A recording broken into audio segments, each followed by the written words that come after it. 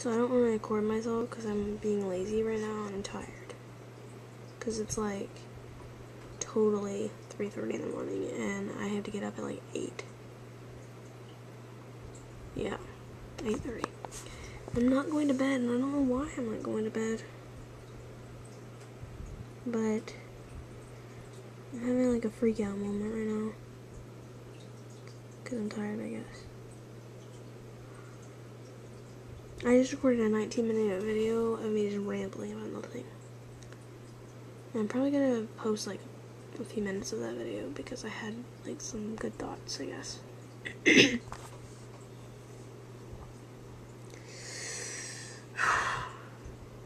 but, um,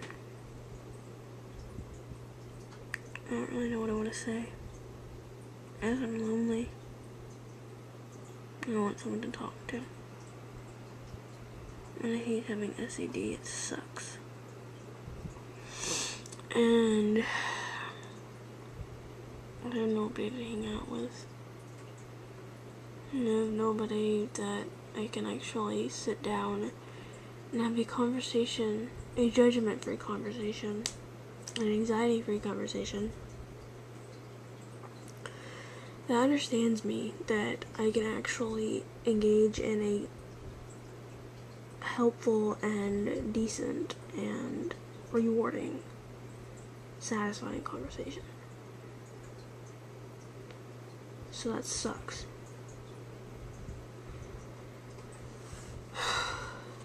Know what to do.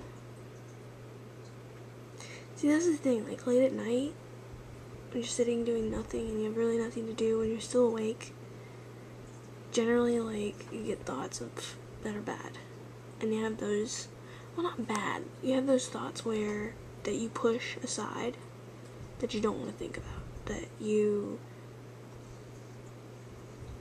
try to push out of your mind. And then I guess because you're tired you can't hold back those those thoughts anymore. And so they come back up have to think about them and deal with the fact that you don't know how you want how to deal with those particular things. And so, in a way, it's good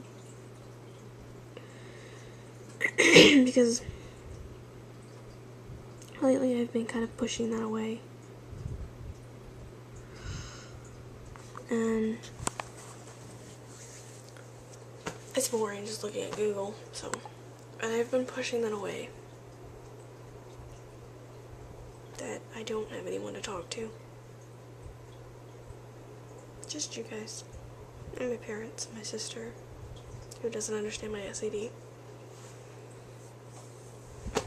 And Facebook.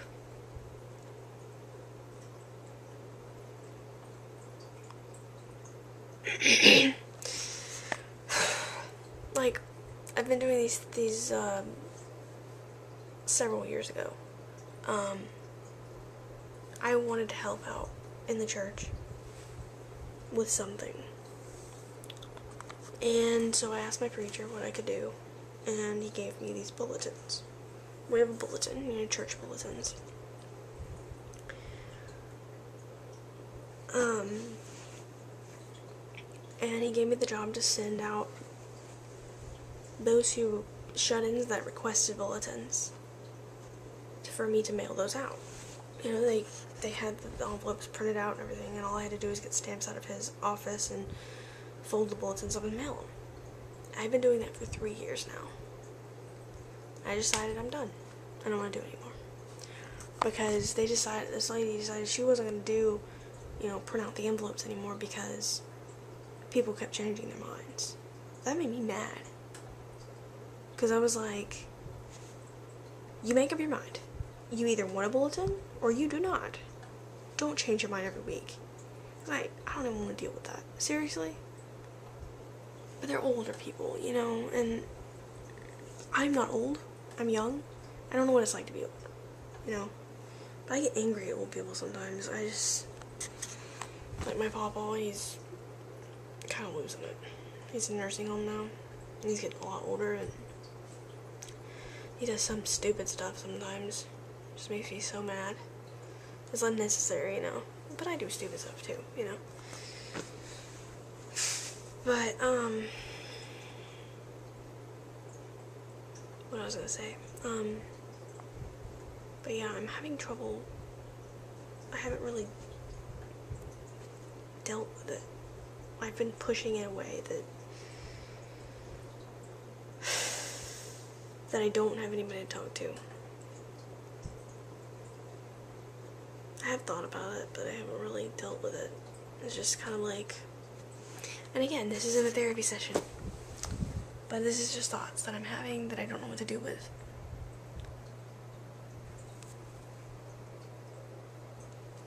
I don't have anybody to talk to.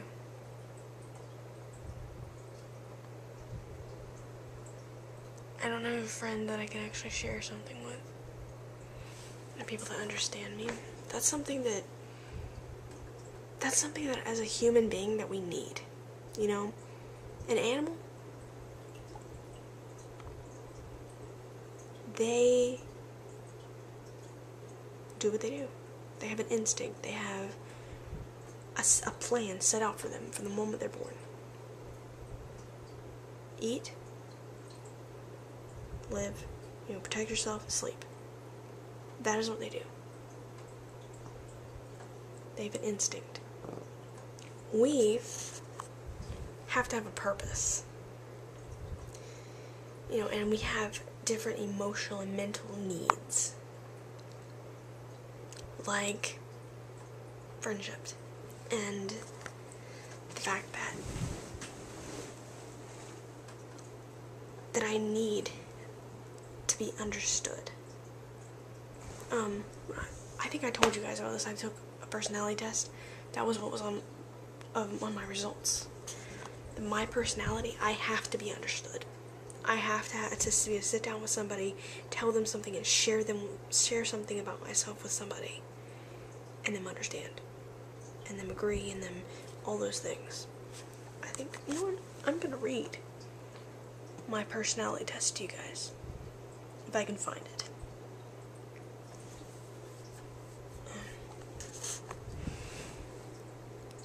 Hold on a second. Pardon my hair again.